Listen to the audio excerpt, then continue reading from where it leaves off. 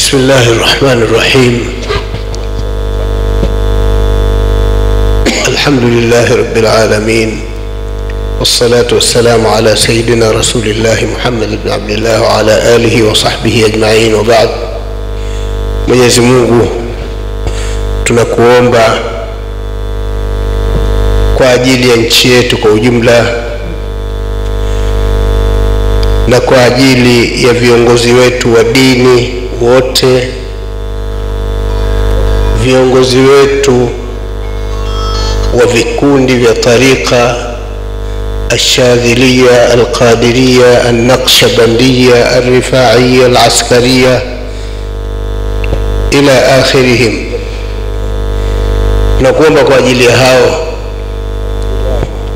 lakini tunaiomba tunakuomba Mwenyezi Mungu uijalie nchi yetu ya Tanzania bara izidi kuwa katika amani na utulivu. Pia tunakuomba ujalie nchi yetu ya visiwani Zanzibar izidi kuwa katika amani na utulivu. Marais wa nchi mbili hizi, Mwenyezi Mungu wape afya, wape maono, wape taufiki, wazidishie, sio wape taufiki. Alhamdulillah, washapata. Mama anafanya mambo ambayo yaliyoafikiwa na Mwenyezi Mungu, lakini tunataka ziada la in shakartum la azidannakum. Na kule Mheshimiwa Rais Mwinyi pia anafanya mambo aliyowafikiwa Mwenyezi alimwafiki Mwenyezi Mungu. Tunaomba ziada, Mwenyezi Mungu amzidishie afanye zaidi ya yale, lakini wao binafsi Mungu awape afya njema, wao na familia zao. Wawe katika afya njema, wawe hawana wahka, wawe hawana lolote. Lakini Mwenyezi Mungu awajalie wafanya biashara wa nchi mbili hizi au wafanya biashara wote wa Jamhuri ya Muungano wa Tanzania, Mwenyezi Mungu awafikishe katika biashara zao. Mungu awatilie baraka Mungu awape raha katika utekelezaji wa majukumu yao na mambo yao ya kila siku. Biashara zao kila siku ziwe ni biashara zenye tija, na watu wazidi kupata ajira kupitia kwao. Lakini Mungu ajaalie pia wakulima, wakulima wa korosho kuanzia Mtwara mpaka Mkenda mpaka Jaribu pale mpakani mpaka huku nako wakulima wa ufuta, wakulima wa mbaazi ya rabbal alamin, wakulima wa pamba na vinginevyo ambavyo Tanzania vinalimwa na sisi tunavihitaji. Mwenyezi Mungu ajalie vitu viwe na baraka na mvua ije, mvua ambayo itakuwa hasa ndiyo munasibu kukuzalisha hayo yote tunataka yazaliwe, isije ikawa mvua ile Nino iliyopita mwaka jana ile kidogo ni habari zake ni kubwa. Mwenyezi Mungu tuepushie mvua kama ile.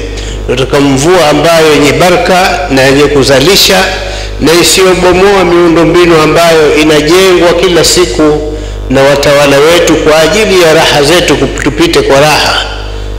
Kwa hiyo Mwenyezi Mungu ajalie kila tuliyoyataja na tusiyoyataja, pengine tumeyasahau hayo yote, Mwenyezi Mungu ajalie yawepo, lakini kitu kubwa lao ni amani na utulivu iendelee, na wale wanasiasa wachache ambao wanadhania wao ndio wenye haki ya kutawala wanavyotaka.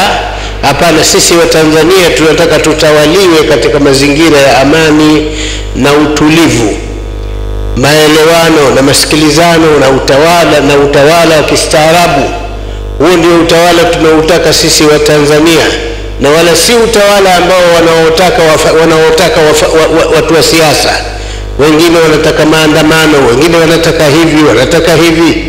Ah, maandamano hatutaki, tunataka watu wapokezane kwa vijiti katika mtindo ambao uliowekwa huu huu wa kuanzia serikali za mitaa, alafu baadaye madiwani, baadaye wabunge, baadaye raisi, kwa utaratibu ambao unaoambatana na amani na utulivu. Mwenyezi Mungu ajalie nchi yetu iende hivyo daiman wa abadan, kwa sababu kuna watoto wako shule, wengine wameshafanya juzi juzi mitihani ya darasa la saba, wana ndoto zao, wanataka wazikamilishe hizo wafike chuo kikuu, alafu wapate hayo yanayopatikana baadaye baada ya kumaliza chuo kikuu. Hizo ndoto zao. Mwingine anataka kuwa daktari, mwingine anataka kuwa mwanajeshi, mwingine atakuwa kuwa mcheza mpira kama Ateba, mwingine ataka awe hivi, mwingine ataka awe hivi. Hao wote Mwenyezi Mungu ajalie ndoto zao eh, zitahaqaq, na haziwezi kutahaqaq ila pawepo na amani na utulivu wengine anafikiria baadaye ya msanii wa bongo fleva mwingine hivi na hivi, ingawa hiyo hayana maana sana, lakini ndozi vile vile hizo. Sasa atazifikiaje? Atazifikishia eh?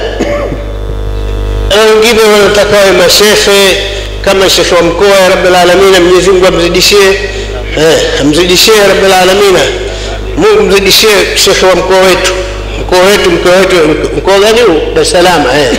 Mwenyezi Mungu akuwafikishe sana, uendelee na ushike hivyo hivyo na mambo yako yaende mazuri, ila sikuombei kupata mke wa nne kwa sababu tayari ushakuwa nayo. Wassalamu alaikum warahmatullahi wabarakatuh.